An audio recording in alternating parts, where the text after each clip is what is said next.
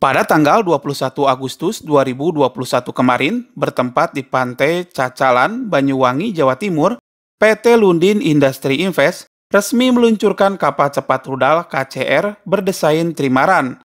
Kapal tersebut diberi nama KRI Golok 688. Ini adalah kapal berlunas tiga kedua yang telah dibangun oleh PT Lundin, di mana kapal yang pertama yaitu KRI Klewang terbakar habis sebelum diserahkan kepada TNI Angkatan Laut. Menurut Kasal, Laksamana TNI Yudo Margono, sebagai kapal cepat rudal, nantinya KRI Golok akan dilengkapi dengan persenjataan dan rudal. Namun tidak disebutkan jenis rudal apa yang nantinya akan dibawa oleh KRI Golok. Pada video ini akan dibahas beberapa jenis rudal anti kapal yang bisa disematkan pada KRI Golok.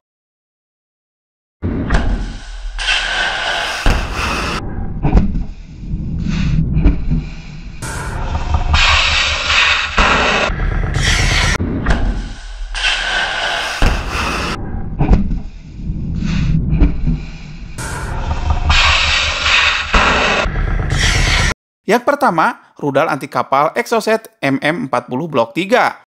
Rudal buatan MBDA Prancis ini sudah tidak asing lagi bagi TNI Angkatan Laut.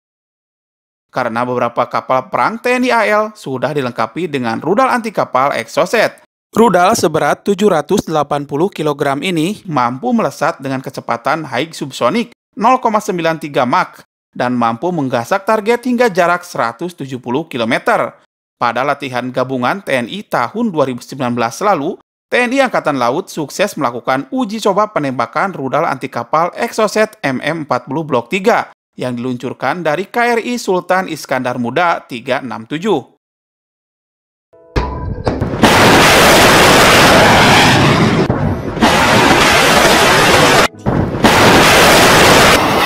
Yang kedua, rudal anti kapal C705. Rudal anti kapal C705 adalah rudal buatan China Aerospace Science and Industry Corporation. Rudal seberat 320 kg ini mampu melesat dengan kecepatan high subsonic dan mempunyai jangkauan menyasar target hingga 75 sampai 80 km.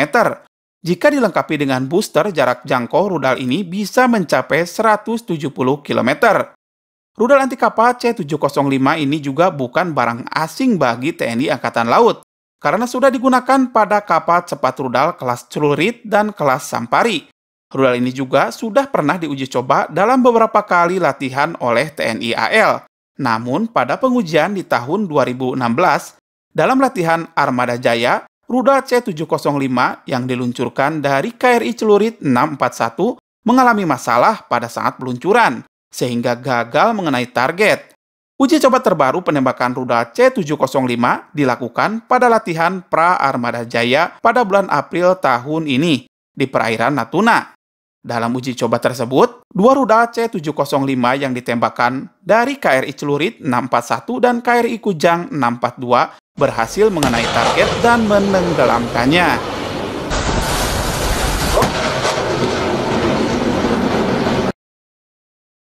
Yang ketiga, rudal anti kapal C802. Rudal ini dibuat oleh China Haiying Electronic Mechanical Technology Academy. Rudal dengan bobot 715 kg ini mampu melesat dengan kecepatan 0,9 Mach dan bisa menghajar target hingga jarak 80 sampai 120 km. Rudal anti kapal C802 sudah digunakan oleh TNI Angkatan Laut pada kapal patroli cepat 57 meter, kelas Padrong dan kelas Todak.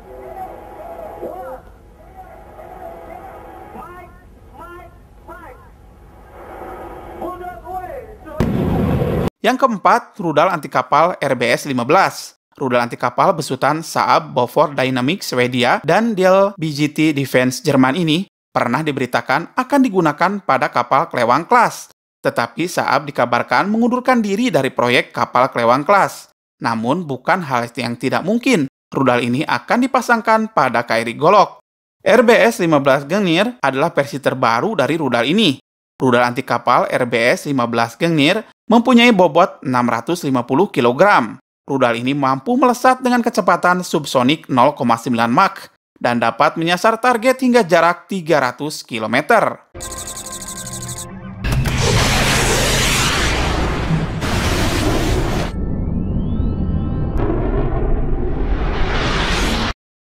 Yang kelima, rudal anti kapal NSM.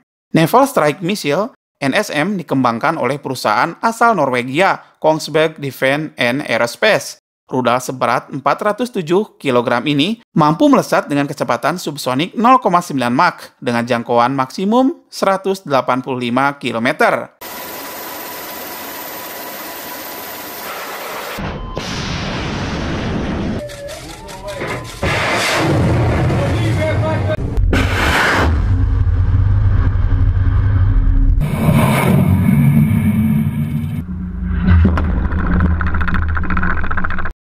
Yang keenam, rudal anti kapal Atmaka. Walau tergolong rudal pendatang baru, rudal anti kapal besutan perusahaan Roketsan Turki ini telah sukses diuji coba. Dengan berat 800 kg, Atmaka bisa melesat dengan kecepatan subsonik 0,9 Mach dan mampu menjangkau target hingga jarak 220 km. Disebutkan surat kabar Turki hurriyet.com.tr Delegasi militer Indonesia turut hadir dalam uji coba rudal anti kapal buatan Turki ini.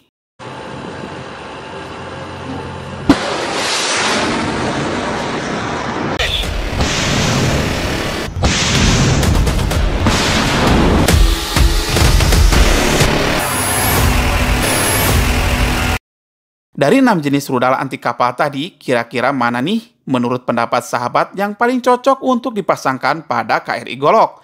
Silahkan tuliskan pendapat sahabat di kolom komentar.